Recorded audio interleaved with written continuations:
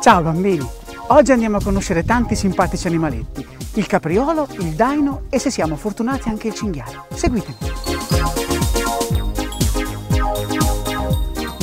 Per vedere i nostri amici animali è importante usare dei punti di osservazione come questo, che si chiamano altana. Dovremo aspettare fino al tramonto in silenzio, perché a quell'ora gli animali escono dalle loro tane alla ricerca del cibo.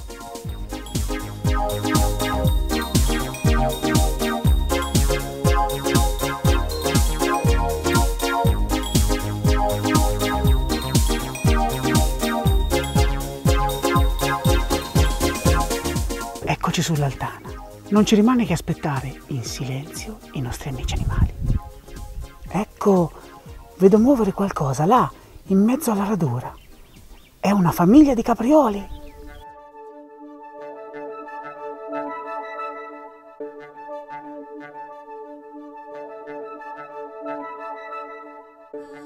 Il capriolo è un animaletto molto timido e solitario che adora vivere nei folti boschi dell'Appennino Durante il giorno se ne sta nascosto, ma al tramonto esce per mangiare un po' d'erbetta fresca e odorosa. Il capriolo è adatto alla vita nei boschi perché è molto piccolo, è infatti alto solo 70 cm. Il suo palco, sono chiamate così le sue corna, è piegato all'indietro per non incastrarsi nei rami. I suoi colori gli permettono di mimetizzarsi bene, infatti non è molto facile osservarlo. Guardate cosa c'è da questa parte. Che fortuna, bambini. Un bel gruppo di daini, i cuginetti dei caprioli. Il daino si ciba di foglie, gemme e rametti teneri, ma non disdegna la frutta selvatica e le piante erbose.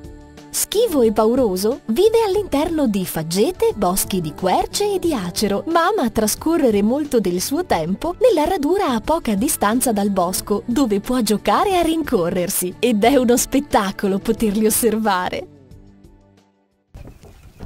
Da questa altana, bambini, abbiamo osservato tantissimi animaletti, ma non è tutto.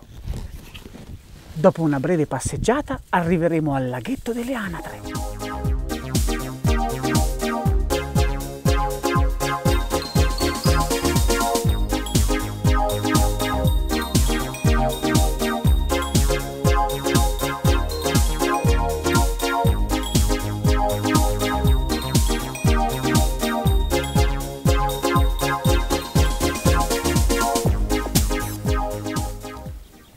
Eccoci arrivati al laghetto delle anatre. L'acqua è importante per le nostre amiche. Durante il lungo viaggio che le porta da nord a sud e che si chiama migrazione, arrivano qui, in questo specchio d'acqua. Si riposano, si rinfrescano e giocano fra loro.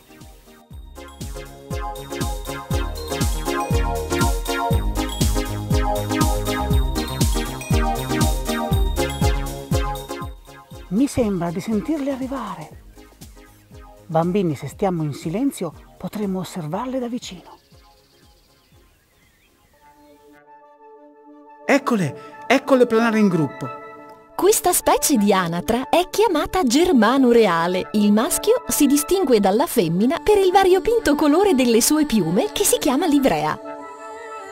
La testa del maschio, di un inconfondibile colore verde, proprio come una bottiglia, e il suo collare bianco sono proprio unici. Questi animaletti si alzano dall'acqua sbattendo rapidamente le ali senza correre. Mangiano nuotando, immergendo la testa nell'acqua. Si cibano di semini, di alghe, insetti e molluschi.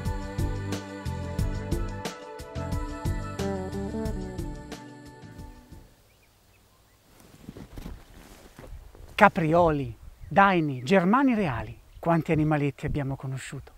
Per oggi è proprio tutto, l'appuntamento alla prossima avventura.